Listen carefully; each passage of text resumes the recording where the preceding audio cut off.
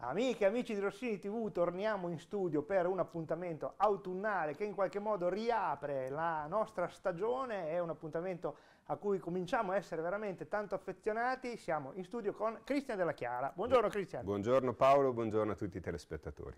Allora, perché Cristian Della Chiara è qua? Eh beh, è qua perché in quanto direttore artistico del Festival dei GAD eh, è qua a raccontarci ormai l'imminente inizio del festival in questa mh, eh, trasmissione che ci siamo inventati ormai eh, da tre stagioni eh, che prevede queste tappe di avvicinamento. Eh, aspettando il GAD, una specie di verso il festival, andiamo avanti passettino passettino, vi facciamo entrare nell'atmosfera e perché no, vi facciamo anche venire la voglia di andare a fare gli abbonamenti perché poi questo è il punto no? che ci interessa anche. Certo, diciamo con uno sguardo a quello che è stato il risultato dell'anno scorso, quindi proponendo gli spettacoli che sono stati premiati l'anno scorso, abbiamo pensato di avvicinarci a quella che invece è un'edizione importante, un'edizione di un compleanno importante perché è la 75esima edizione dal 1948 ininterrottamente il festival eh, GAD eh, apre il sipario per un pubblico che è sempre affezionato. Dicevi bene, insomma eh, c'è la possibilità di abbonarsi, allora se mi permetti partirei proprio da qui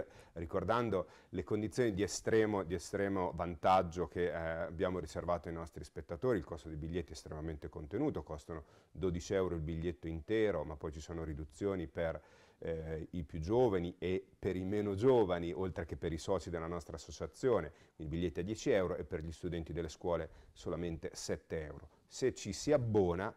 la convenienza è ancora maggiore perché l'abbonamento a tutti gli otto spettacoli in concorso e uno fuori concorso costa 80 euro intero, 60 il ridotto e 40 per gli studenti delle scuole, quindi veramente prezzi alla portata di tutti, il festival intende essere una manifestazione di avvicinamento al mondo del teatro, quindi riteniamo importante eh, cercare di abbattere per quanto possibile l'ostacolo economico, soprattutto in un periodo in cui ci sono delle difficoltà che possono essere, eh, che cerchiamo ecco, di favorire di, eh, per, perché possono essere superate. Quindi prezzi estremamente vantaggiosi, un festival aperto a tutti che ci aspettiamo che riscontri anche quest'anno una grande, una grande risposta.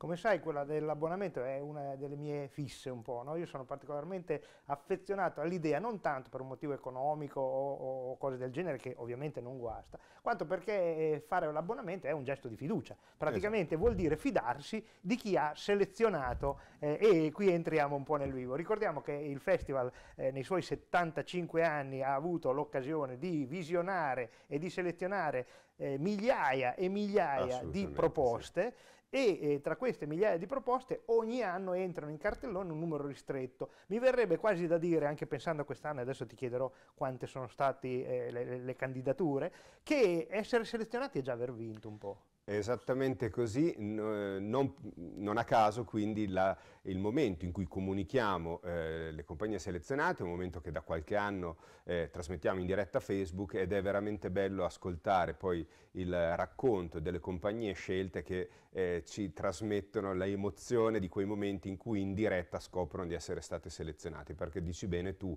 eh, il festival, eh, ci sono due selezioni, eh, la prima è una preselezione che le compagnie fanno diciamo in coscienza eh, presentando la candidatura solo se sono consapevoli di avere eh, realizzato un, uno spettacolo di qualità perché il festival è riconosciuto come uno dei più importanti eh, festival nazionali del, eh, di teatro per il mondo del teatro non professionistico e quindi diciamo c'è un'autoselezione che fa sì che si candida solo chi sa di aver fatto un buon, un buon, un buon spettacolo. Dopodiché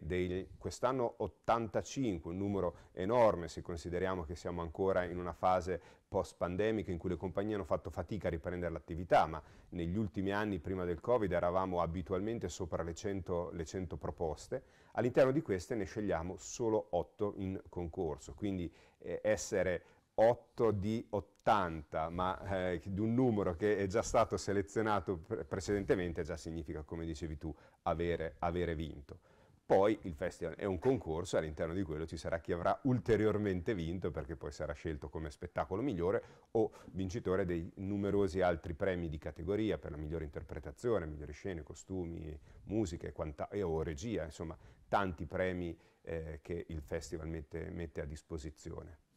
Questa nostra trasmissione è strutturata in modo da fare una introduzione e, e de descrivendo un po' i contenuti, i temi e i motivi del festival e poi farvi vedere una delle commedie. Ma è l'occasione anche per parlare di qualche novità e di qualche approfondimento. Per esempio il premio dei trailer, il premio Rossini TV che abbiamo lanciato l'anno scorso eh, un po' in corsa, diciamocelo, e quest'anno invece col tempo debito e con tutto quanto è, è stato strutturato nella maniera migliore. Eh, sì, ci ha divertito l'idea di eh, affiancare alla, al concorso ufficiale per gli spettacoli rappresentati in teatro anche uno che eh, fosse diciamo, in linea con i tempi in cui si parla tanto di, eh, di contenuti digitali, di contenuti video, c'è tanta comunicazione sulle piattaforme eh, social e quindi abbiamo eh, pensato ad un premio che eh, valutasse chi meglio promuove il proprio spettacolo attraverso un piccolo trailer di circa 60 secondi che diffondiamo sulle nostre piattaforme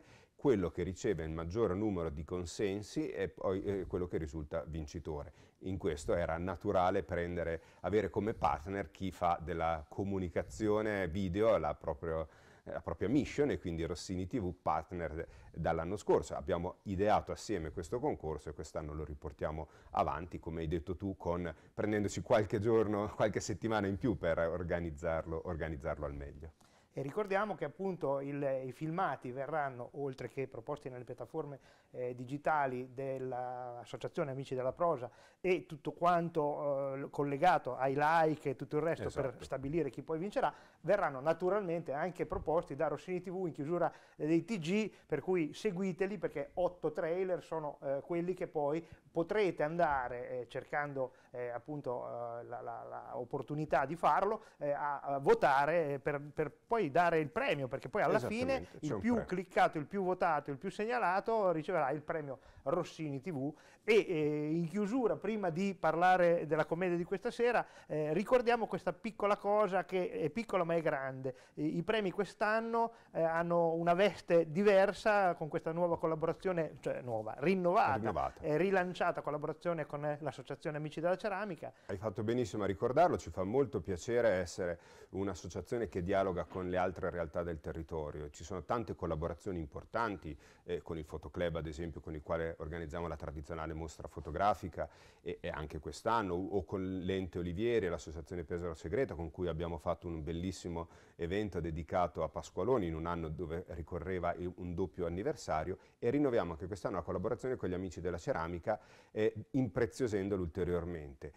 Quest'anno il premio tradizionale, l'Arlecchino, che è il, il simbolo del premio del nostro festival, sono stati realizzati eh, commissionati e realizzati da Mirko Bravi, presidente dell'Associazione Amici eh, della Ceramica e, e, appunto saranno un valore aggiunto, sono molto molto belli, avremo occasione di vederli in anteprima fra, fra qualche giorno, li presenteremo, però diciamo ci piace dare un ulteriore eh, segnale di questo dinamismo che c'è sul nostro territorio e della capacità di collaborare fra le varie realtà. Non solo quest'anno c'è questa cosa in più dei primi premi realizzati da Mirko Bravi, ma anche quest'anno eh, tutti i membri dell'associazione hanno offerto un proprio premio, quindi i premi di tutte le, le, categorie sono realizzati dagli amici della ceramica e siamo estremamente grati e orgogliosi di questa collaborazione. Diamo appuntamento a tutti alla seconda eh, puntata di Aspettando il GAD in onda fra qualche giorno. E, e... racconteremo gli spettacoli perché c'è stato un convitato di pietra, non abbiamo parlato degli spettacoli che parlato, ci saranno. Ancora no, ma piano piano, piano ci entriamo piano piano. piano, piano, piano, piano, piano. Esatto. Buona visione. Arrivederci.